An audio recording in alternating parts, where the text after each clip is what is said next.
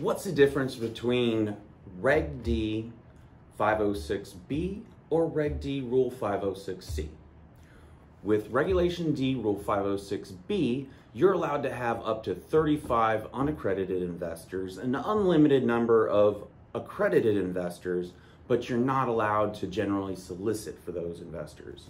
With 506C, you have only accredited investors. They go through a verification process with the sponsor or with a third party. Uh, and then you can do a general solicitation, meaning general advertising.